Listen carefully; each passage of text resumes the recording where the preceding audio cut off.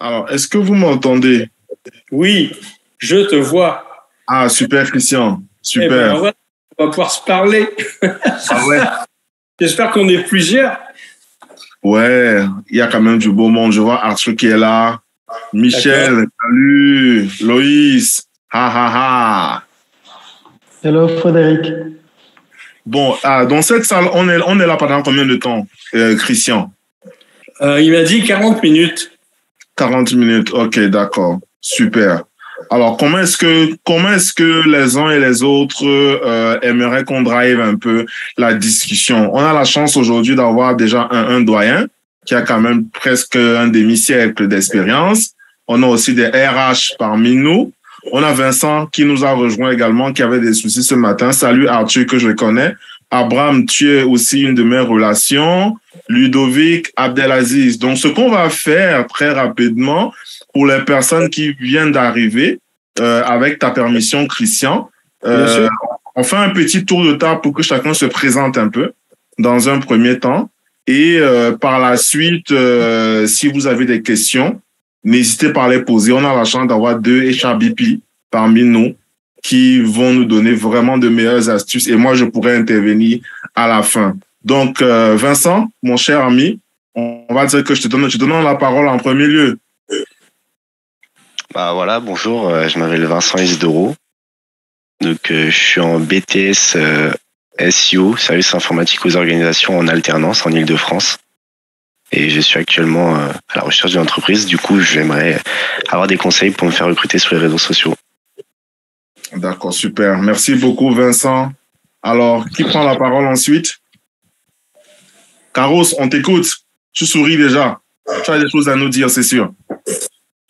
D'accord. Merci, Frédéric. Donc, euh, moi, c'est Carlos Vous m'entendez bien, j'espère? Oui, oui. OK. Donc, moi, je suis dans, dans les télécoms. Donc, euh, là, je suis en train de préparer un master en management donc, je suis intéressé par tout ce qui est RH pour vraiment commencer à me préparer pour mon, mon futur emploi.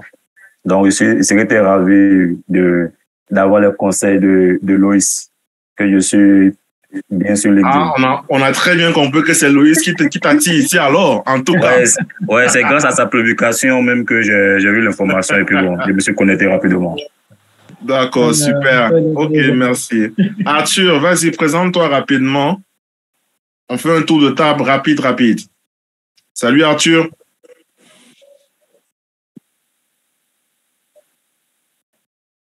Ton micro, ton micro. On t'entend pas. bon là, bonsoir. Ouais, c'est bon, super. Oh, J'arrive pas à me faire entendre en fait. Non, on t'entend déjà, on t'entend Arthur. Vas-y, tu peux parler. Allô? Oui, Arthur, on t'entend. Vas-y.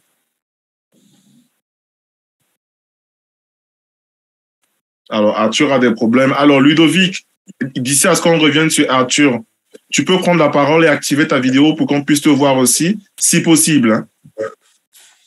Ah je vais le faire. Bonjour à tous. Salut. C'est bon là? Oui, on t'entend, Ludovic. On te voit aussi en futurine. Ok, parfait. Euh, Ludovic Tessu, je suis euh, chargé de recrutement. Oh, Du coup, je suis en France, à Avignon. Et j'étais auparavant en Ile-de-France, un peu comme euh, euh, Vincent. D'accord, enchanté. Un chargé de recrutement, super. Alors, c'est bon, tu peux parler, Arthur? Ça fonctionne maintenant? Ouais, ouais. Oui, c'est bon, c'est bon. Ok, vas-y, on t'écoute. Présente-toi aussi rapidement. Oh, d'accord. Moi, c'est Arthur Fomo, étudiant en médecine. Et très, je suis très intéressé, soucieux de l'idée de me trouver un petit job pour, pour arrondir mes fins de mois. Quoi. Et je suis heureux d'être parmi vous. Merci. D'accord. Un médecin parmi nous. D'accord. Abraham? Alors, Abraham a disparu juste quand j'ai parlé d'elle. OK, Charlotte. Tu peux prendre la parole rapidement et te présenter aussi en vidéo si tu peux. Ouais. Ah, vidéo. Attends. C'est bon. Oui, bonjour. Je ne sais pas si vous me voyez. Ouais. Ici, Oui, ça va. on te ok. voit, Charlotte. Bonjour, Euh, Charlotte Boquet. Moi, j'habite, je suis en France, à Rennes, en Bretagne, où il pleut et où j'ai froid. Euh, je suis formatrice euh, en communication et en fait, euh, bah, j'ai pas beaucoup beaucoup d'heures cette année et donc voilà, j'ai débuté sur les sur LinkedIn il y a pas très très longtemps. Euh, je pense que c'est un outil génial, mais je veux pas forcément être trop phagocytée ni euh, euh, faire des choses qui me ressemblent pas, euh, des règles un peu pas à la con, mais j'ai pas envie de devenir un- une cliqueuse, une likeuse, une posteuse pour me faire remarquer. Voilà, je veux que ça me ressemble et que, enfin voilà, je veux que ce soit vrai et sincère comme comme je peux l'être dans la vraie vie en fait. Voilà.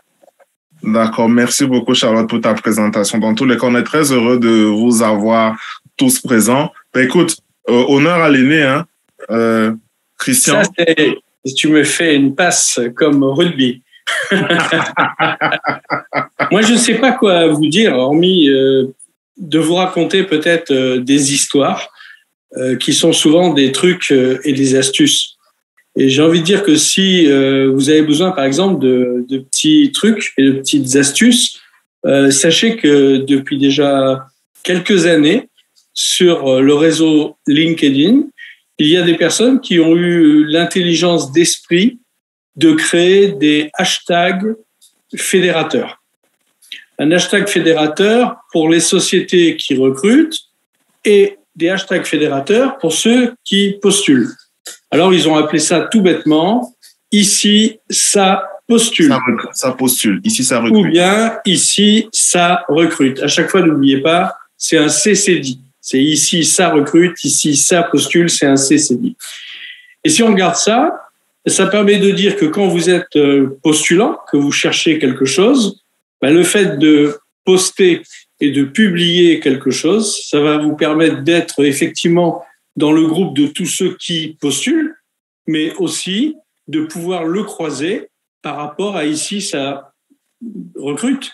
Et vous allez donc pouvoir vous amuser à regarder dans, sous les hashtags considérés quelles sont les entreprises qui recrutent.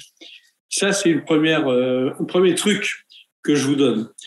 Il y a d'autres types de, hashtags qui existent, comme euh, collectif colibri, comme euh, team bienveillante, et encore quelques-uns. Et si ça vous intéresse, j'aurai le plaisir à vous, à vous adresser à un certain nombre de ces points-là. Ce que j'ai envie de dire, c'est lorsque, à un moment donné dans votre vie, vous cherchez un premier travail, ben, il existe une façon sur un réseau de vous faire remarquer. Euh, je rejoins Charlotte, il faut pas faire n'importe quoi, euh, faut communiquer en fonction de son authenticité et ne pas euh, s'amuser à cliquer sur n'importe quel poste, histoire de dire j'ai cliqué. Faut pas s'amuser à commenter n'importe quelle euh, chose sur n'importe quelle publication. Mais si vous êtes différent dans votre approche tout en restant authentique, vous avez une forte possibilité de vous démarquer. Et c'est un peu ce que j'ai un jour enseigné à une personne qui démarrait dans la vie euh, professionnelle et qui recherchait une alternance. Cette personne me disait, moi j'ai besoin d'une alternance parce que la première année, je vais la financer avec un crédit bancaire, mais la deuxième année et troisième année de mon master, j'ai pas les moyens de pouvoir me payer mes études. Comment je vais faire? Donc elle me disait, est-ce que tu penses que si je viens euh, tout simplement à répondre à des offres d'alternance, j'ai une chance? Je lui ai répondu, c'était il y a sept ans et demi, tu n'as aucune chance. Tu n'as aucune chance parce que personne ne te connaît, parce que tu n'as pas de légitimité. Et comme tu cherches dans le monde du digital, ça marchera peut-être pas. Peut-être qu'alors, si tu viens à communiquer différemment, en te différenciant, le résultat sera de meilleure qualité. Et quelques mois après, après trois mois intensifs, sur le réseau LinkedIn et Twitter en simultanéité, la personne a obtenu huit contrats d'alternance sur lesquels elle a pu choisir sur les huit lequel elle avait envie d'aller. C'est une véritable expérience, c'est une véritable histoire. Et ça s'est passé il y a sept ans et demi. Je ne dis pas que ça serait pareil aujourd'hui, car ceux qui fréquentaient les réseaux il y a huit ans ne sont plus les mêmes personnes Et le nombre de personnes qui viennent maintenant sur LinkedIn à publier et à communiquer sont beaucoup plus nombreux. Tout à, l'époque, lorsqu'on voulait avoir des nouveaux contacts, le côté utilisation de la mobilité et d'un téléphone nous permettait sans aucun problème de demander à être en contact avec qui on voulait sans pour être embêté et filtré par LinkedIn. Quand on utilisait la version euh, fixe, la version personal computer, là on avait des restrictions, mais pas sur la version mobile. Pourquoi? Parce que la stratégie à l'époque de LinkedIn, c'était de faire en sorte d'avoir de plus en plus de monde. Et comme LinkedIn poussait les personnes à avoir de plus en plus de monde, la mobilité permettait de faire beaucoup de choses. Et c'est comme ça que brusquement, il y a des personnes sur LinkedIn aujourd'hui qui se sont retrouvées à un moment donné avec 200, 300 000, 400 000 contacts.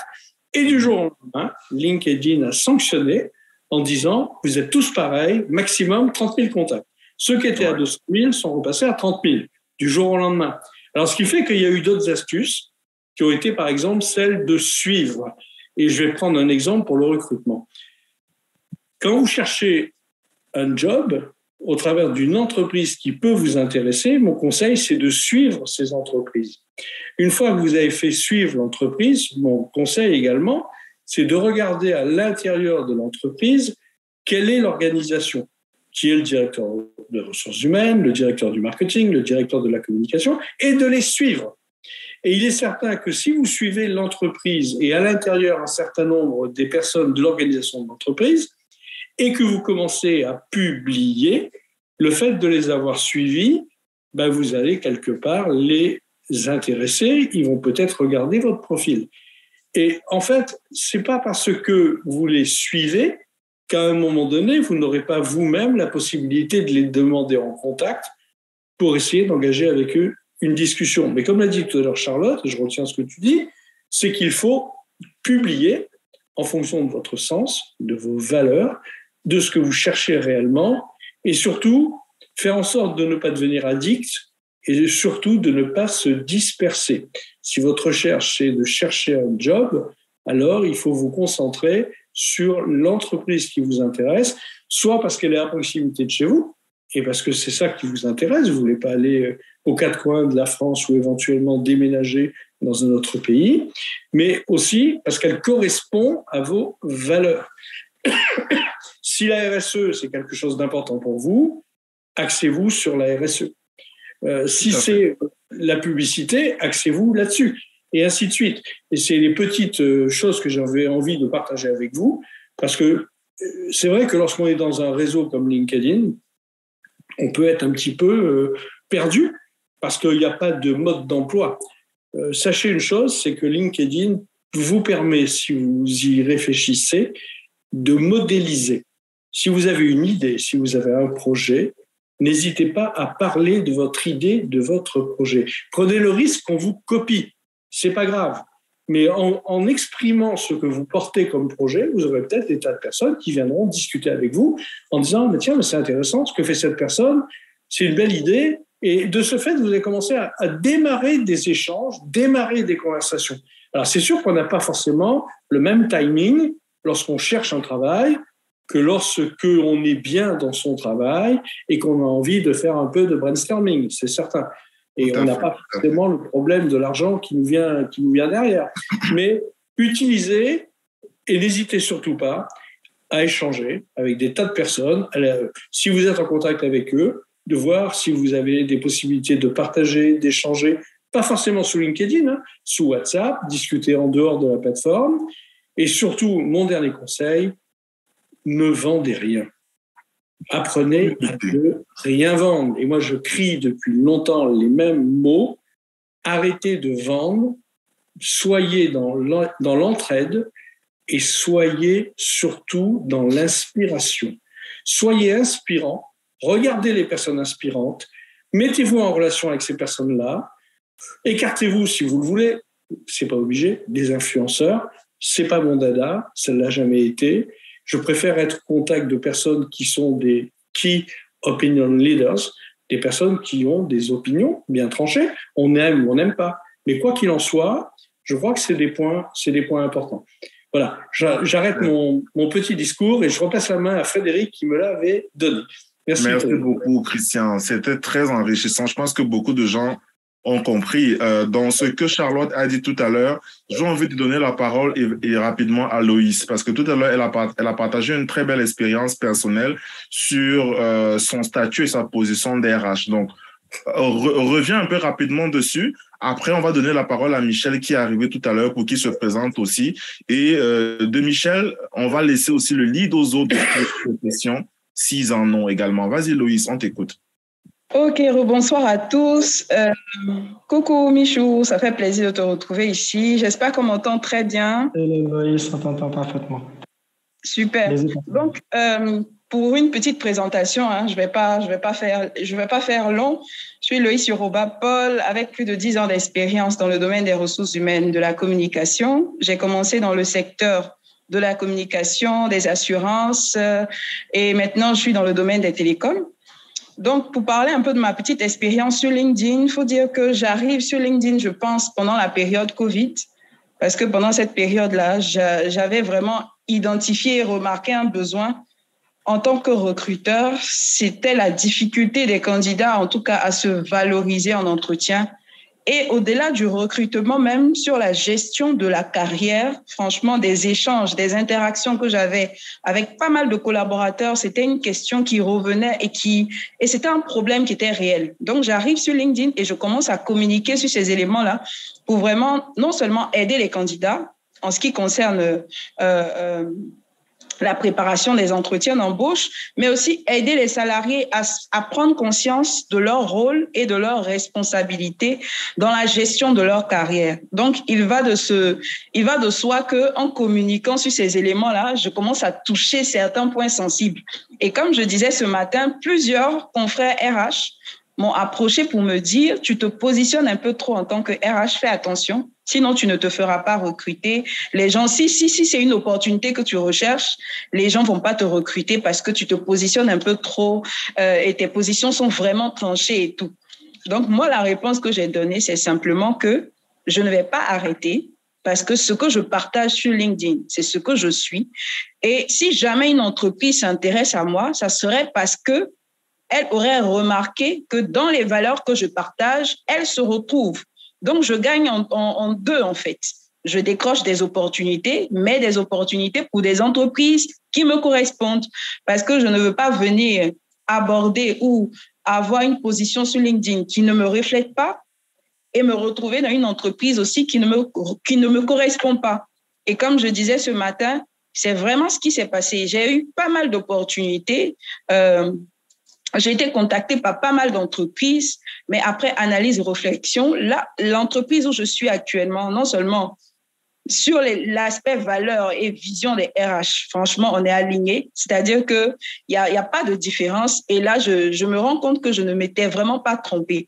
Donc, pourquoi moi j'encourage, en tout cas, euh, euh, les personnes en quête d'opportunités que ce soit une première opportunité ou bien dans le développement même de leur euh, carrière. Pourquoi est-ce que j'encourage à partager sa vision, ses valeurs, euh, son histoire sur LinkedIn? Parce que cela vous permet de gagner en deux. Non seulement développer votre réseau, permettre que les gens vous reconnaissent facilement, mais permettre aussi aux entreprises qui se reconnaissent dans vos valeurs de vous repérer et de vous contacter. Maintenant, après, comme ce que Charlotte a dit, moi, je suis totalement d'accord et c'est ce que j'ai dit, je pense, ce matin. J'ai dit, il faut se poser trois questions. Qu'est-ce que je veux? Qu'est-ce que je sais faire? Quelle solution est-ce que j'apporte? Comment est-ce que je suis? Est-ce que je suis quelqu'un de réservé? Si je suis quelqu'un de réservé, peut-être que je n'ai pas forcément envie de m'exposer sur LinkedIn. Si je suis quelqu'un de décontracté, peut-être que je suis plus à l'aise à m'exposer sur LinkedIn. Tout dépend de ce qu'on recherche et de ce qu'on est. Une fois qu'on a les réponses à ces différentes questions-là, c'est plus facile de savoir comment se positionner sur LinkedIn. Si je suis réservé, je vais me faire un profil vraiment taillé sur mesure où j'ai des points, des, des mots-clés qui permettent au recruteur, quand il tape dans sa barre de recherche, de me retrouver très rapidement, sans que je n'ai peut-être besoin de, de partager ou de faire des posts. Mais quand il regarde mon profil LinkedIn, il a automatiquement la réponse à la question, est-ce que c'est le profil que je recherche? Oui, donc je le contacte. Voilà, c'est ce que je peux dire d'entrée. Hein. Merci beaucoup. Super, Super Louise. Alors, peut-être, avant de passer la parole à Michel, est-ce que vous avez une question, il y a des questions par rapport à ce que Loïs a dit une seule. Hein. Après, on passe à Michel et vous allez encore poser davantage. pour que tout le monde puisse prendre la parole. Donc, ouvrez votre micro et euh, posez votre question à Loïs. Vincent, tu n'en as pas? C'est bon pour toi? Les choses s'éclaircissent un peu plus? Oui, oui, les choses s'éclaircissent. Euh, j'ai bien compris euh, tout ce qu'elle nous a expliqué. Euh, moi, j'ai, moi, j'ai une question par contre. Salut Germain, bonne arrivée à toi. Vas-y, on. Merci bien, Frédéric. D'accord. Euh, moi, ma question est la suivante. C'est que, euh, bon, c'est pas une question. Je vais juste éta- euh, étaler, euh, étayer, en fait, juste une petite, un petit paragraphe pour que je puisse, elle, va essayer de m'expliquer un peu comment est-ce qu'elle peut m'aider dans ce sens. J'explique. C'est que là, j'étais en entreprise, d'accord? Et sur LinkedIn, j'avais déjà, j'avais mentionné le fait que je travaillais dans une entreprise et j'ai arrêté, en fait, fin mars, d'accord, dans l'entreprise en question. Je voulais être à mon propre compte en tant qu'entrepreneur. Donc, j'y ai commencé, en fait, les activités, en fait, dans ce sens-là, et j'ai commencé à communiquer aussi dans ce sens sur LinkedIn. Il s'avère, en fait, que après, je, veux retourner en entreprise. Dans ce genre de situation, quelle action, en fait, mener par, sur LinkedIn pour me faire, en fait, remarquer des, recruteurs? J'explique, c'est que j'avais été contacté, en fait, par la directrice des ressources humaines de Auchan, qui voulait, en fait, euh, collaborer avec moi sur, euh, avec Auchan Côte d'Ivoire. Mais là, elle était sur mon profil LinkedIn et elle a vu, en fait, que j'avais mentionné, en fait, le fait que j'étais entrepreneur et tout ça. Donc, elle m'a plus recontacté. Je sais pas si peut-être ça a eu un impact en fait sur sur euh, sur euh, l'intérêt en fait qu'elle avait pour mon profil ou pas. Donc, je vais essayer de mieux comprendre en fait pour voir mieux réorienter en fait euh, mes différentes propositions à l'avenir. D'accord. Peut-être, Loïs, une, une seconde, j'interviens et tu réponds. Alors, Germain, je vais te dire ce que Loïs m'a dit avant qu'elle ne réponde il y a quelque temps. Il, y a, il faut un positionnement qui est clair. Il faut t'orienter quelque part. Si tu te positionnes comme un salarié, tu ne peux pas en même temps te positionner comme un entrepreneur. Si tu te positionnes comme un entrepreneur, tu ne peux pas te positionner, tu ne peux pas chercher à revenir euh, de la même manière vers le salariat.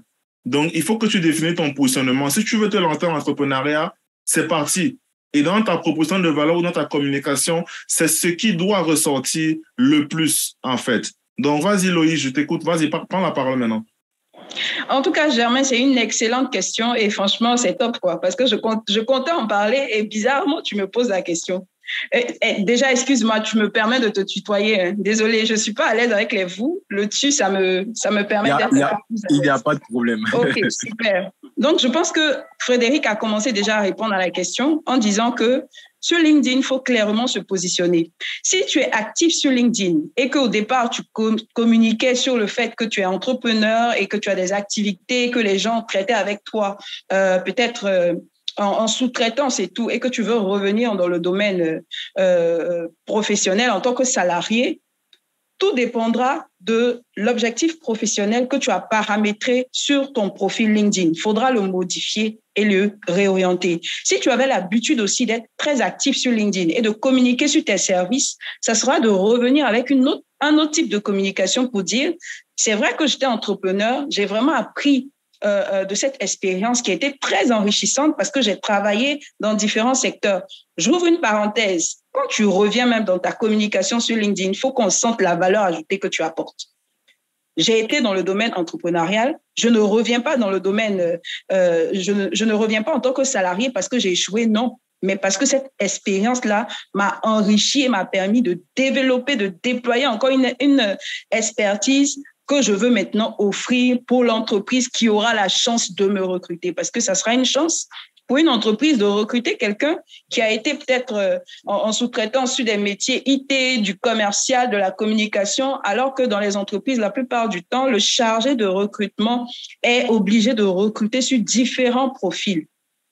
Tu comprends? Donc, c'est la communication que tu vas mettre en place sur la stratégie de communication que tu vas mettre en place pour réorienter ta cible vers ce que tu es en train de faire maintenant. Ensuite, il peut arriver que tu aies envie de retourner dans, dans le milieu professionnel en tant que salarié, mais continuer en tant qu'entrepreneur à tes heures perdues. Ça, Exact, si ouais, c'est le cas, justement, Ouais, si c'est le cas, il faut toujours, quand tu finis de faire cette communication pour dire que je me suis enrichi de cette euh, expérience euh, dans le domaine entrepreneurial, désormais, je suis disponible pour toute entreprise qui recherche un chargé de recrutement sur les métiers de tant tu mets tes expertises, contactez-moi par mail. C'est très bien, tu t'es positionné. Les entreprises savent que désormais, tu reviens sur le marché de l'emploi.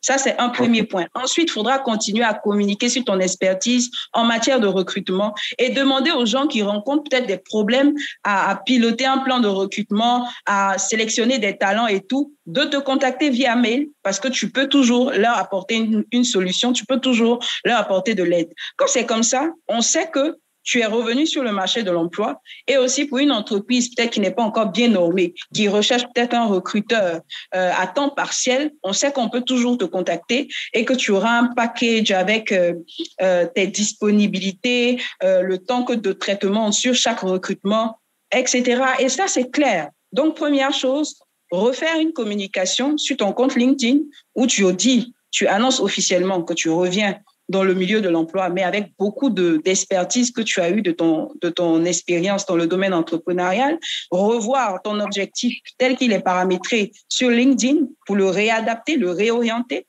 Ensuite, continuer de communiquer sur ton expertise en tant que recruteur pour que les entreprises qui ont besoin d'un recruteur de manière ponctuelle continuent à te contacter. Comme ça, tu auras les deux. Mais on sait toujours que dans le domaine du, du recrutement, Germain a une expertise qu'on soit recruteur pour, euh, euh, on soit en recherche d'un recruteur permanent, il est disponible. Qu'on soit en recherche d'un recruteur ponctuel, il est également disponible. Voilà. Donc, c'est la, la petite proposition que je peux te faire pour le moment. Après, ensemble, on pourra creuser encore et améliorer, en tout cas, euh, comment est-ce que tu vas orienter cette stratégie, comment est-ce que tu vas te positionner, comment est-ce que tu vas communiquer dessus? On pourra en parler après en privé. Il n'y a pas de problème. Merci beaucoup, Loïs. C'est super. Vas-y, Michel, euh, présente-toi aussi également. On, on la parole, mon cher. Ensuite, on va chuter sur Aude, qui vient de nous rejoindre. Salut, Aude. Ok, je ne sais pas si on m'entend. Bonjour, bonjour à tous. Euh, je suis très heureux tous de vous retrouver. Loïs, surtout, c'est toujours un plaisir. Avec plaisir, Michou. Toujours aussi tranchante. Vraiment euh, top. Ben, écoutez, euh, je suis euh, Michel Villet. Euh, J'interviens beaucoup plus sur les questions de sur tout ce qui est du, recrutement, par exemple, recrutement. Voilà, je suis dans les RH, mais recrutement, formation, gestion de gestion de carrière. En fait, tout ce qui est développement RH, pour faire simple. Alors, sur ce sujet, déjà, alors, ce que je peux dire aujourd'hui, c'est que quand vous venez sur LinkedIn, c'est beaucoup plus, la question, c'est quelle est ma stratégie, en fait? En fonction de votre stratégie, vous pouvez donc vous orienter et trouver euh, le chemin, euh, le chemin qui va vous permettre donc de pouvoir atteindre euh, votre objectif. Aujourd'hui, comme le, comme le disait Jamais, bah, par rapport à sa question, tout est une question de bah, de positionnement en fait. Euh, tu veux faire un profil qui est, euh, qui est un profil plutôt qui est orienté vers les, vers les salariats ou plutôt un profil qui est orienté euh, vers, vers l'entrepreneuriat en question. En fonction de cela, tu pourras euh, déployer des actions pour te permettre de te mettre en, en évidence. L'une des choses qui est importante à savoir, c'est que LinkedIn, au fait, c'est un algo qui fonctionne avec des mots-clés. C'est dû que euh, si, par exemple, vous avez peut-être fait la remarque, mais euh, si vous voyez, si vous mettez des profils avec des titres en anglais, c'est jamais pareil, comme si vous mettez des profils avec des titres en français. Parce que bah, c'est sûr que si moi je recherche, euh, par exemple, un chasseur de, un chasseur de talent, bah, je vais pas aller taper, je vais pas aller taper de la barre de recherche un talent enter. Certes, mais ça ne me donnera pas le profil cadré en fait que je veux. Le but, c'est d'avoir directement de taper à l'œil quand vous éditez votre, votre profil. Après, vous pouvez mettre évidemment les, bons mots-clés qui vont avec pour vous permettre de, sinon bah, au recruteur ou au RH qui va aller chercher votre profil, de vous trouver beaucoup plus facilement. La deuxième chose, c'est que oui, dans la construction, par exemple, de votre, de votre profil, vous avez la possibilité de faire quitte ou double. Mais là, c'est un, peu risqué, je m'explique. C'est-à-dire que si vous avez un profil, par exemple, qui est, bilingue, et donc, certainement, dans votre titre de présentation, vous pouvez faire quelque chose qui est, euh, qui est d'une certaine façon en, anglais et beaucoup plus présenter un peu plus en, matière de, détails au niveau, euh, par exemple, des informations à fournir et euh, au niveau même de la construction du profil, donc tout ce qui va avec sur la présentation de la page LinkedIn. Vous pouvez, par exemple, détailler ces, ces, ces expériences, par exemple, en anglais parce que c'est pas ce qui est, directement mis, euh, mis en avant. Donc, ça vous permet d'avoir, euh, je dirais, dans un premier temps, si vous êtes bilingue, encore une fois, hein, ça vous permet de vous mettre en évidence. Le recruteur qui va chasser, par exemple, sur votre, sur votre profil, saura que c'est un profil francophone, mais s'il a un profil qui est en anglais, ça veut dire qu'il s'en sort pas mal, certainement en anglais. Et donc, éventuellement, si moi je, je recrute, euh, je recherche un profil, par exemple, un comptable bilingue, et que je vois quelqu'un qui a un profil bilingue, automatiquement, je suis attiré. Donc, tout est question de positionnement, voire de stratégie en fonction de la manière dont vous voulez vous, vous, vous positionner, vous adoptez la stratégie qui, euh, qui, qui, va avec, que ce soit sur la présentation ou même dans votre manière aussi de communiquer. Euh, sur, les, sur, LinkedIn, par exemple, moi, je me rappelle quand je suis arrivé sur, sur LinkedIn, bah, j'ai pas pris le temps de, de poster d'abord, parce que le but, c'est de bien comprendre comment est-ce que ça, ça fonctionne. Donc, je me suis attaché avec, à, des personnes que, que je trouvais expertes dans leur domaine, donc chacun.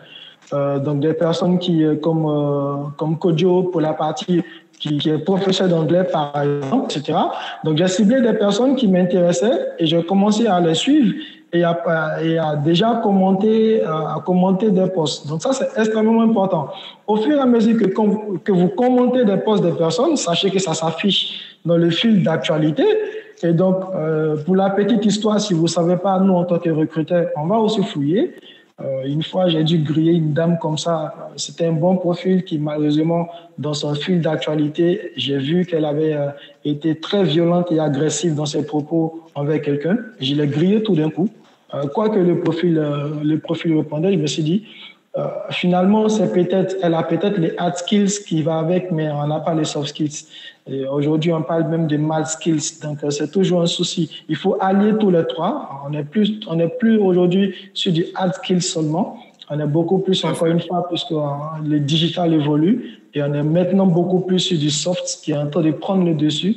Et voilà, aujourd'hui, on parle même des math skills aussi, qui, des compétences un peu hors normes pour le but aujourd'hui, c'est d'atteindre l'objectif euh, fixé par une entreprise rapidement. Donc, quand on cherche des profils, il y a tout ça qu'on recherche qui, qui, qui vont avec. Et donc, si c'est pas, si pas construit comme il le faut, et donc, effectivement, vous ne faites pas repérer et on n'arrive pas à trouver euh, l'appel qu'on qu'on veut malheureusement. Donc, voici un peu ce que j'ai pu dire dans un premier temps. Super, merci beaucoup Michel. Je pense que première des choses, on a dit le positionnement pour se faire recruter il faut le définir clairement. Il faut être actif sur le réseau également pour récapituler un peu ce que Christian, euh, Michel et euh, Loïs ont dit. Alors, Aude, tu viens d'arriver. Bonne arrivée. La question euh, du jour, c'est comment se faire recruter sur LinkedIn. Donc, on t'écoute aussi. Oh là là, Aude nous a lâché. Ah, elle est là. OK. On t'écoute aussi. Euh, présente-toi d'abord et euh, dis-nous comment est-ce qu'il faut, qu'est-ce qu'il faut faire pour se faire recruter sur LinkedIn. D'accord, merci beaucoup. Bonjour à tous, j'espère que vous allez bien.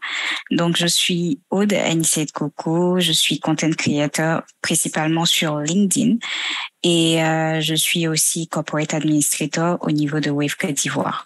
Donc, euh, nous savons tous déjà euh, ce qu'est LinkedIn et quel est son rôle. Nous savons que c'est un réseau à vacation professionnelle.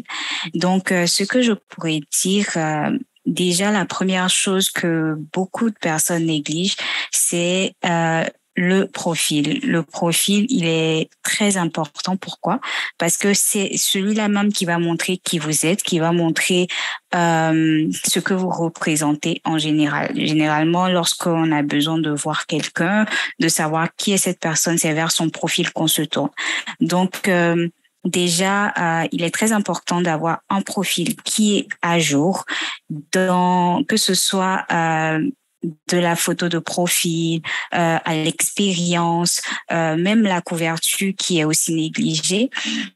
Euh, c'est très important de l'avoir totalement à jour. Ensuite, moi, je dirais vraiment que c'est bien de faire des posts tout le temps, de pouvoir euh, parler de soi, de ses expertises, de ce qu'on sait faire, mais il est encore mieux de euh, savoir quel type de format nous correspond à nous pour pouvoir parler. Sinon, euh, au final, on fera juste comme tout le monde et on n'aura pas vraiment l'impact qu'on souhaiterait avoir. Donc, moi, je prends mon cas personnellement. Moi, je suis beaucoup plus à l'aise avec les textes, tout ce qui est texte. Donc, contrairement à d'autres personnes qui vont faire des formats vidéo ou des podcasts, moi, je vais plutôt écrire des articles parce que c'est là-dedans que je me sens bien. Donc, c'est très important de choisir le type de format que vous voulez utiliser pour pouvoir poster sur LinkedIn. Euh, ensuite, il est très important d'avoir, on va dire, un planning de publication parce que euh, on va dire ce n'est pas à n'importe quel moment qu'il faut poster juste parce que on a envie, mais il faut montrer aussi que on est organisé. Qu'on le veuille ou pas, lorsque un recruteur part sur un profil, bien vrai que euh, tout soit à jour, cela lui permet aussi de savoir que cette personne est aussi organisée. Cette personne, elle est, on va dire, rangée, elle est structurée. C'est un avantage, c'est un atout pour cette dernière-là pour pouvoir se faire recruter, par exemple. Donc, euh, il est très important, voire même primordial, d'avoir une structure, une nomenclature qui nous permet de suivre clairement euh, les postes que nous faisons. Et une chose, enfin, importante que tout à l'heure Michel disait, c'est que euh, partout où on dit réseau social, forcément on va euh, croiser des personnes, on va rencontrer des personnes. C'est très important de montrer que de la même manière que notre communauté est présente pour nous, nous sommes aussi présents pour d'autres personnes. Donc, que ce soit dans les commentaires, il est très important de montrer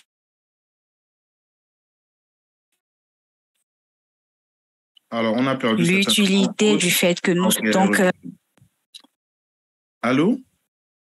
Oui, allô Frédéric. je crois que c'est toi qu'on avait perdu. Ah non, pas du tout. Moi, je suis là. Vas-y, Aude. Il nous reste cinq minutes, donc euh, chute un peu pour qu'on on puisse euh, répondre aux questions des autres personnes. Donc, vas-y, fonce. On t'écoute.